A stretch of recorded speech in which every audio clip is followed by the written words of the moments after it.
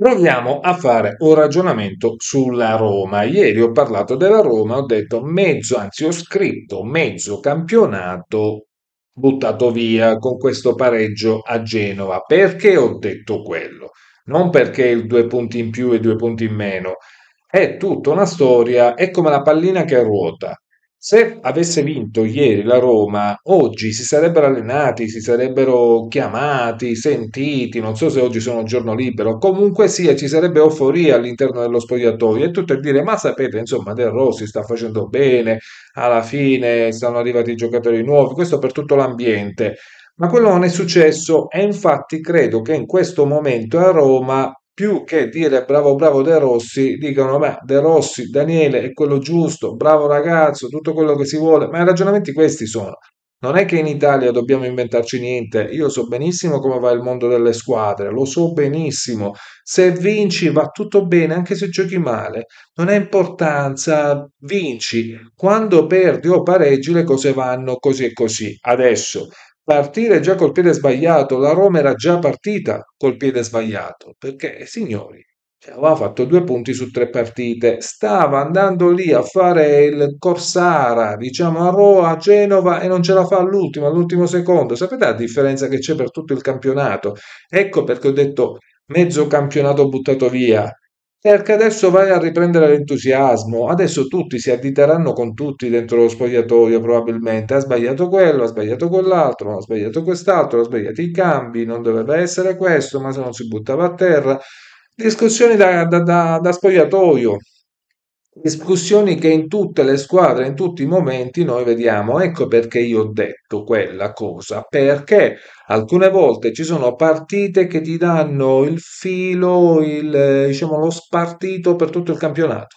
Ci sono delle partite che tu inizi quelle partite come una partita normale, invece non è così. Quella partita diventa l'apertura o la chiusura del campionato. Io lo so che la Roma ancora c'è tanta strada davanti e può fare tante cose, devono entrare i giocatori che sono forti, vedi Hermoso, Conè, che secondo me prenderà in mano il centrocampo. È tutto vero, è tutto vero, però una cosa è avere il piacere, avere l'entusiasmo, la brillantezza, l'euforia di una bella vittoria fuori casa, ti servono queste cose. Una cosa è avere il pareggino all'ultimo quando neanche l'avevi chiusa quella partita.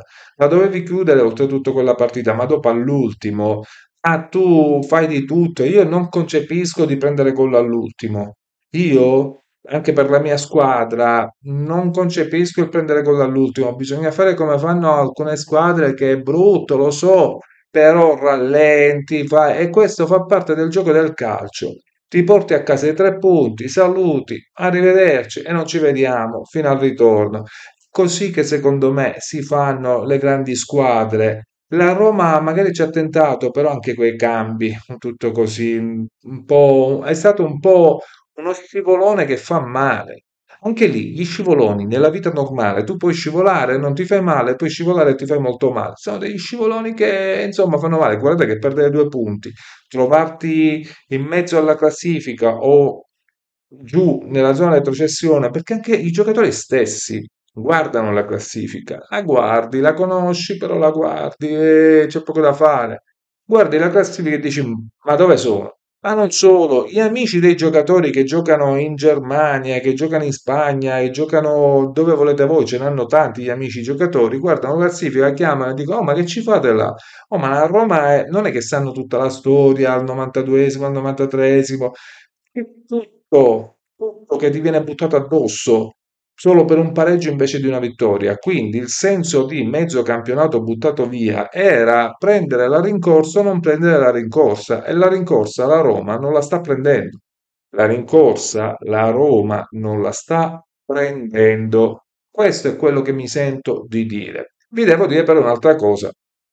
Ho acquistato un nuovo microfono. Fino adesso, fino adesso chi segue il canale sa quanto nervosismo mi hanno dato. Ho speso tanto in microfoni, tanto non mi è mai funzionato un microfono, mai uno che mi abbia dato la soddisfazione E quindi sto facendo anche questo video un po' per vedere e testare questo microfono. Ditemi come vi sembra. Ragazzi, ditemi come vi sembra questo microfono. Fatemi questa cortesia perché finalmente dopo tanto tempo ho fatto una mini prova di 10 secondi, sembrava buono. Adesso devo montare tutto il video. Vi invito ancora un'altra volta sull'altro canale Dico CTN Podcast. Ho appena messo un nuovo video, neanche mezz'ora fa. Se volete andare a vedere il video, se vi fa piacere.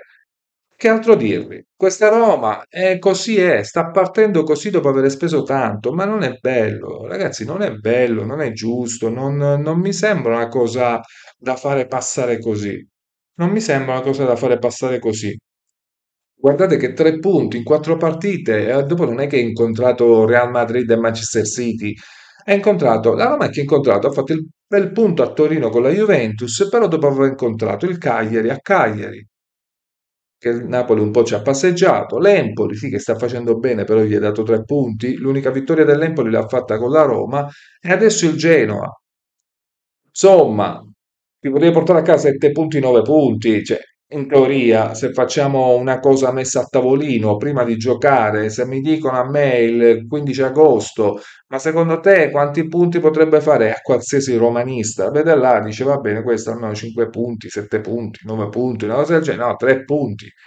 Tre punti sono pochini, tre punti sono pochini, sono pochini, assolutamente pochini. È pure vero che ha fatto tre trasferte. Cioè la Roma ha fatto tre trasferte e la sconfitta l'ha avuto dentro, perché se entra quella partita con l'Empoli, se entra la partita con l'Empoli, eh, già sarebbero 3-3, 6 punti, staresti galleggiando, ma non è entrata la partita con l'Empoli.